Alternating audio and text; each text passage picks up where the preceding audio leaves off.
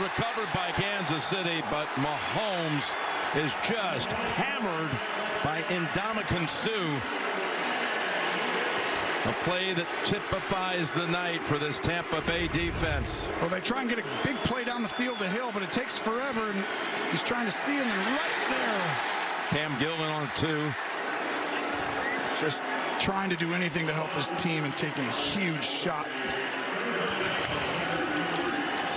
He's got guts.